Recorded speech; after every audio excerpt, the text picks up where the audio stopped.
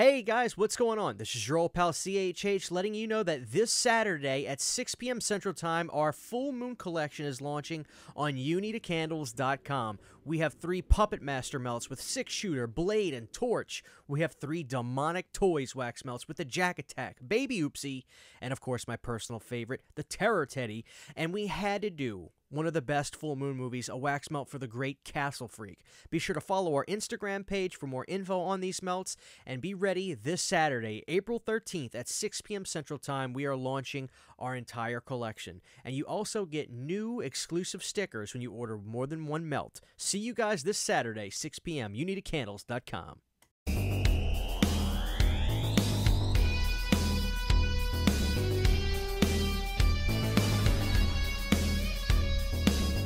Hey guys, happy Friday. This is your old pal CHH here. Now, today's video is going to be about the 2001 movie Jason X. We've been having a great time covering these Fridays, and I figured enough time has gone by. Let's retrospect Jason X. As always, I like to tell you guys the story about my first time seeing Jason X. Well, believe it or not, this was actually the very first Friday the 13th film I ever saw in the movie theater. This is when I was living down in New Orleans before Hurricane Katrina, and I was 10 or 11 years old. We went and saw something at the theater in 2000. It might have been the Rugrats movie or something. But what I do remember, as we were coming out of the theater, there was a coming soon section high, high up on the wall. And I remember looking up and seeing this crazy looking image of Jason. Now, I knew the name Jason really before I knew the term Friday the 13th, as I think a lot of people probably did. And I remember looking up and seeing Jason X, and I remember telling my mom, Please, mom, let's see that, let's see that, I want to see Jason. I mean, she had let me dress up as Jason for Halloween before I'd ever seen any of the movies. And sure enough, a year later, when it came out, I begged my mom, and she took me and my brother to see Jason X in the movie theater. Now, one thing I do remember about this was that the theater was less than packed. Now, this is not something that I put two and two together with until years and years later when I would start to study the Friday movies was Jason X was not exactly the highest grossing Friday the 13th film, but this is what I'll never forget. After about the 5 minute mark when you see Jason chained up in the beginning of the movie, guys, I will never forget just losing it. I was terrified and I tried not to play it off, but my mom knew this is a mistake taking this kid to this movie. And this is the interesting thing about movies like this is that when you're young, you don't see the humor in stuff like this. It's just so in your face real hard that everything is just terrifying. It wouldn't be for me till years later where I'd go back and see Jason X and I would see like, oh, this movie is hysterical. It was so bad, in fact, that a few years later when Freddy vs. Jason came out, my mom never forgot the experience I had with Jason X and refused to let me see Freddy vs. Jason in the theater. Now, it wouldn't be until years and years later that I would actually see Jason X again, but this time it would come into my life at one of the most crucial points. So, if I can indulge you for just a second, I graduate high school in 2010. I've told the story a thousand times, so I'll keep it very much brief. I got bit by the horror bug in a big, big way in 2009, and I started buying up any kind of Friday the 13th movie I could see. Well, around that time, I graduate high school and I'm going to college, and I didn't know what to really major in. And one thing that was a major constant in my life, especially in high school, was drumline. I played in drumline all four years. I was always involved in the music department at school. I am a musician, so naturally that's what I did. Well, I signed up to major in music at my college. After around four days of training camp with the drumline and the band and everything, I realized I love music, but there's zero way in hell I actually want to go to school for this. I'm not saying that there's anything wrong with it, but in my pit, I knew music is my hobby and I love to do it for enjoyment. I don't want to get graded on it. I don't want to study it. I don't want to do any of that. I don't know what I was thinking. So I remember freaking out, having a breakdown with my mom about this. I was like, Mom, I can't do this. Talked about it. I decided to not major in drumline, and that day I was just really depressed. Felt like I had let my teachers down, and I felt like I let my parents down a little bit, and I felt like I let myself down, like I didn't know what I was doing with my life. I was still working, I had a job at this time, and so I remember going to Walmart the very next day, and I found something really cool. The Friday the 13th Jason Slasher Collection, which included the three new line titles Jason Goes to Hell, Jason X, and Freddy vs. Jason. Now, I have mine till this very day, and I always tell collectors if you see this in the wild, grab it. It's just a cool looking release. And I decided I needed to watch something fun. Now, I needed to pick one that I thought was going to be funny or entertaining or just take my mind off of things. And I decided to put on Jason X. Watching Jason X that day gave me an absolute hour and a half of forgetting about my problems, forgetting about what I was going to do, forgetting about the stress of what's my next step in life. And I was able to sit there and laugh for a good hour and a half. And I'll never ever forget reconnecting with Jason X. At the time, especially on the internet, you either liked or you hated Jason X. One of the biggest complaints I used to always hear was, well, this film's not really scary. But I clearly don't think they were trying to do that.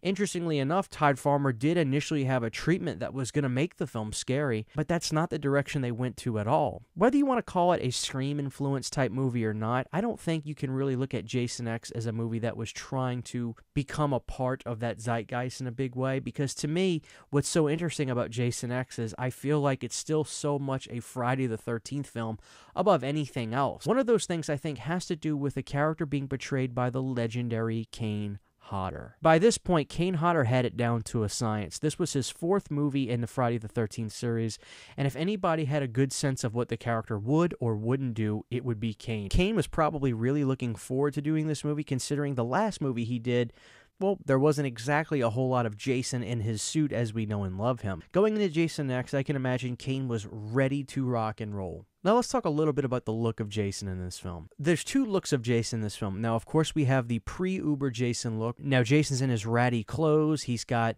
a different shaped hockey mask, which is a little awkward at first seeing it, but you know, after you watch these movies for years and years, you just start to like love the individualistic feel of each film. You start to appreciate the different looking masks, but you can clearly see that Jason X's mask is different in every way, even like the shape and dimensions of the mask itself. Jason also isn't a zombie anymore. He has more of that human flesh tone look. Now, granted, he's not really human considering they're talking about how he can regenerate dead tissue, which was an interesting avenue that they went down, especially with the fact that we get to see David Cronenberg playing a doctor in the beginning of the film, which he has an incredibly funny death scene. From what I understand, came from the request of David himself. If he was going to be in this movie, he wanted to be killed by Jason, which probably goes to show that Cronenberg probably enjoys a few Friday the 13th movies, if I had to guess. But overall, I would say the pre Uber look of Jason Jason is pretty good. I don't know if I would say it's the worst. I don't think there is necessarily a worst look of Jason at all in the series, but there is certainly individualistic feels to the Jason X look of Jason. I like it, but it's not my favorite. To me, the absolute home run of Jason X is absolutely the Uber Jason look.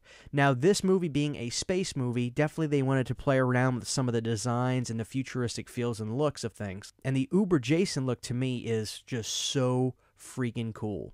Now, I'll never forget as a kid, now seeing those demon eyes in this movie that Jason had took me from a level 9 scare to a level 11 scare. And there's a really cool sleekness and just this strength that Uber Jason shows. Now, there are some people that would say that maybe the Uber Jason look is somewhat cheap. I don't know. As a matter of fact, I was rewatching the film on high definition earlier on my Blu ray, and I actually think that the design looks really good under the scrutiny of Blu ray. I actually would really voice a disagreement with that notion, and I think the Uber Jason look is incredible. You can almost argue it's a top five look that Jason ever had. Now, when it comes to horror comedies, much less horror comedies in space, they can be extremely hit or miss. Comedy is obviously the most subjective thing in the world. People either find stuff funny or they don't. It's hard to find much in between with comedy. People really don't say, well, that comedian's okay. They usually say, I like this comedian or I don't. So when you do a horror style comedy film, I think that's probably why there's a seesaw. People either love it or they don't.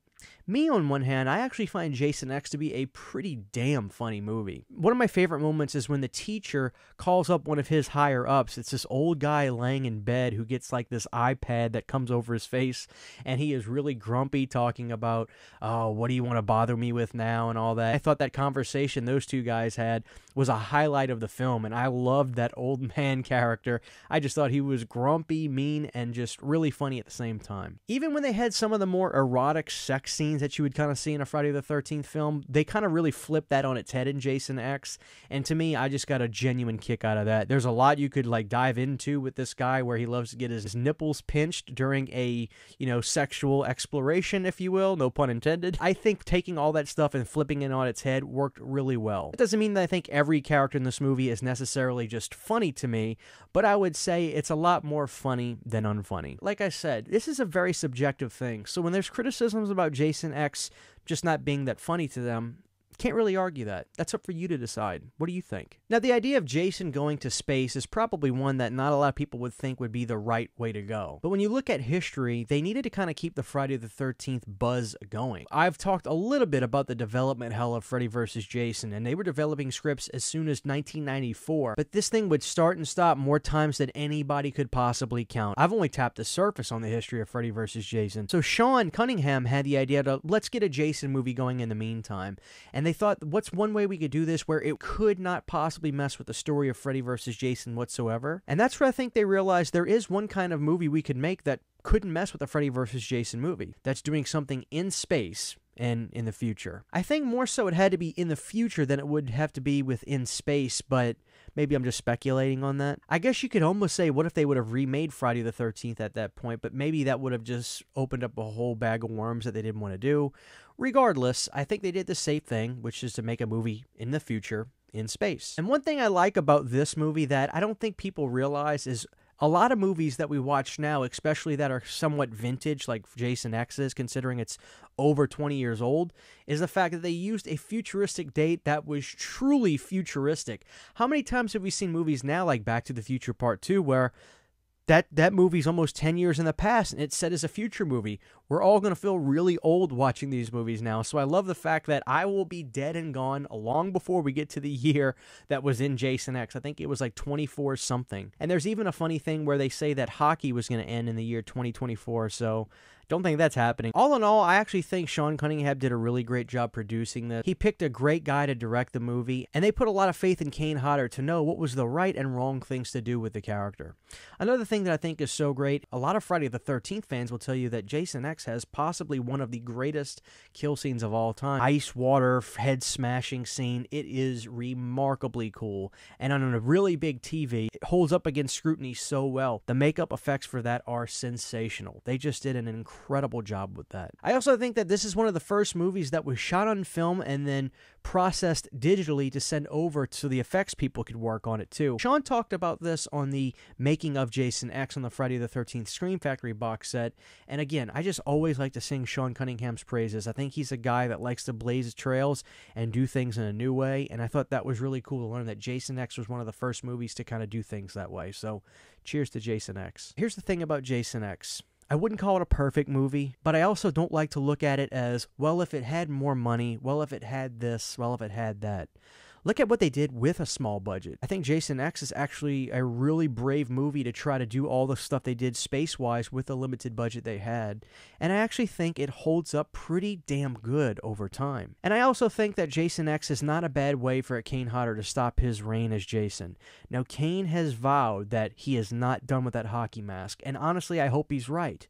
But in the event that this is, Kane, I think I can speak for a lot of Friday the 13th fans when I say you killed it in Jason X. And if that is the last one, you're the man. So, guys, tell me your story with Jason X. Is it a movie that you've always liked, always disliked? Did you change your mind on it?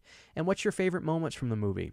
Anyway, guys, happy Friday and I'll see y'all next time. Huge giant thank you to all of my Patreon supporters. Without you guys, this would not be possible. To get behind the scenes photos, videos, music, private live streams, and much more, you can subscribe to my Patreon for as little as a dollar a month. Thank you to my patrons.